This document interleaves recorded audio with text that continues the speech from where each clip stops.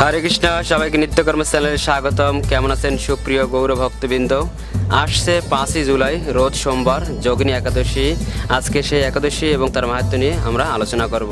তো চলুন জানি এই যোগিনী একাদশী সম্পর্কে।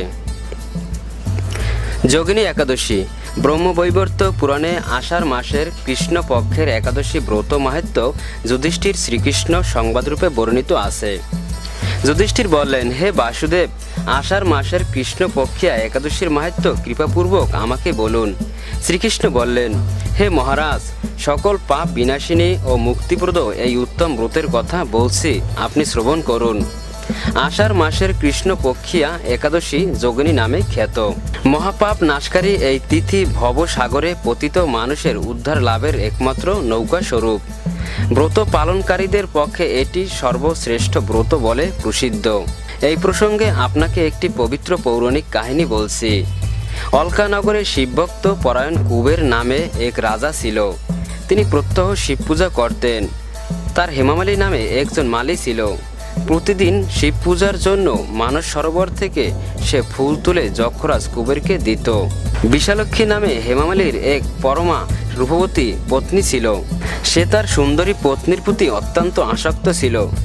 একদিন সে তার স্ত্রীর প্রতি কামাসক্ত হয়ে রাজভবনে যাওয়ার কথা ভুলে গেল। বেলা দুই অতীত হলো, অর্চনের সময় চলে যাচ্ছে দেখে রাজা ক্রুদ্ধ হলেন। মানুষের বিলম্বের কারণ অনুসন্ধানে এক দূত প্রেরণ করলেন।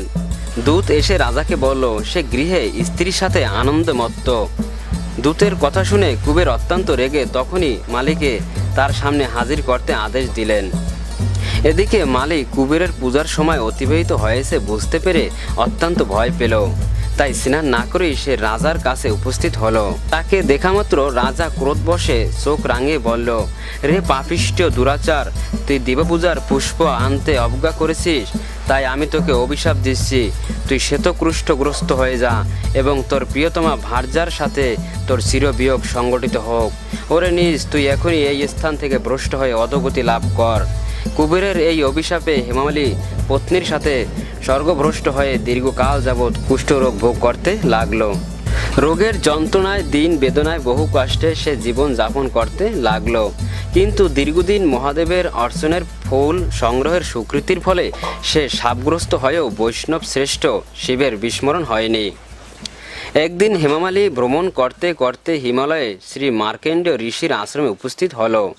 কুষ্ঠরোগে পীড়িত সপত্নী হেমামালিকে দর্শন করে শ্রী মার্কেন্ড তাকে জিজ্ঞাসা করলেন, তুমি কার অভিশাপে এইরকম নিন্দনীয় কুষ্ঠগ্রস্ত হয়েছ?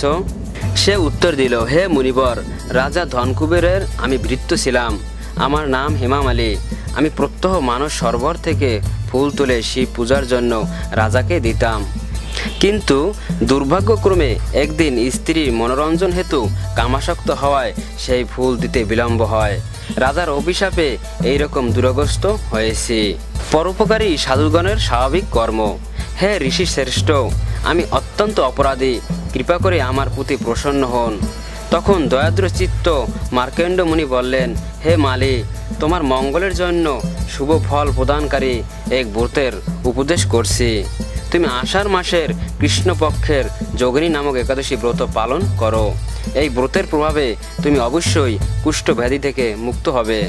শ্রীকৃষ্ণ বললেন, ঋষির উপদেশ শ্রবণ করে হেমামালি তাকে প্রণাম জানালো।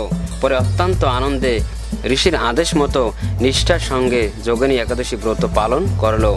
এইভাবে হেমামালি সমস্ত রোগ থেকে মুক্ত হলো ও পত্নীসহ সুখে জীবনযাপন করতে লাগল। প্রিয় ভক্তবৃন্দ, শুনলেন এই যোগিনী একাদশী মাহাত্ম সম্পর্কে। তো আপনারা সবাই একাদশী থাকুন এবং ভগবানের কৃপা লাভ করুন। আর হ্যাঁ আমি আপনাদের পারণের মন্ত্র বলে দিচ্ছি। আপনারা পরদিন যখন পালন করবেন সময় মতো, এই একাদশী পালনের সময় পরদিন সকাল পাঁচটা একচল্লিশ থেকে নয়টা বিয়াল্লিশ মিনিট পর্যন্ত একাদশী পালনের মন্ত্র। একাদশম নিরাহার ব্রতে নানেন কেশব প্রসিদ সুমুখ নাথ জ্ঞান দৃষ্টি প্রদ ভব তো প্রিয় ভক্তবৃন্দ, ভিডিওটি যদি ভালো লাগে, তবে অবশ্যই কমেন্ট করে আমাদের জানাবেন। আর হ্যাঁ অবশ্যই চ্যানেলটি সাবস্ক্রাইব করতে ভুলবেন না।